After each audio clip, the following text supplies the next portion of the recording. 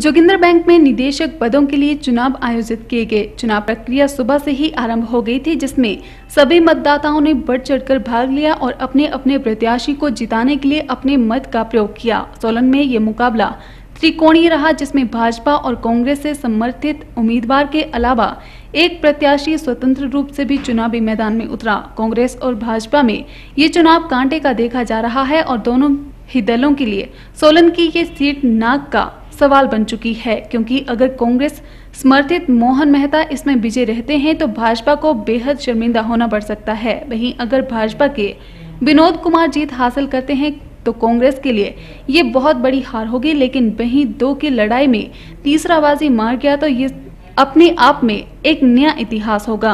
अधिक जानकारी देते हुए शाखा प्रबंधक एल टी शर्मा ने बताया कि सोलन में निदेशक पद के लिए तीन प्रत्याशी मैदान में उतरे थे। चुनावों में उनसठ मतदाताओं ने अपने मतों का प्रयोग किया। उन्होंने बताया कि चुनाव बेहद शांति प्रिय ढंग से हुए हैं। चुनाव प्रक्रिया में सोशल डिस्टेंसिंग का बेहद ख्याल रखा गया। उन्होंने बताया कि मतदाताओं के सुझावों के अनुसार मतदान प्रक्रिया को आयोजित किया गया, जो बेहद सफल रही है। उन्होंने बताया कि देर शाम को चुनावों के नतीजे घोषित कर दिए जाएँगे। जो आज की वोटिंग हुई है, ये बहुत ही अच्छे तरीके से हुई है।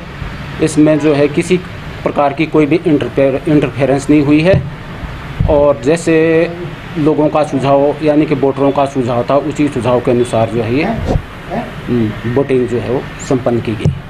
हमारे को सुझाव ये कि सुझाव इस प्रकार से दिए गए थे कि कोई भी मोबाइल फ़ोन जो है वो वोटिंग कंपार्टमेंट में अलाउ नहीं होगा। तो हमने इसके बारे में पहला ही नोटिस जो है वो सवेरे लगा दिया था कि मोबाइल फ़ोन जो है कोई अलाउड नहीं होगा।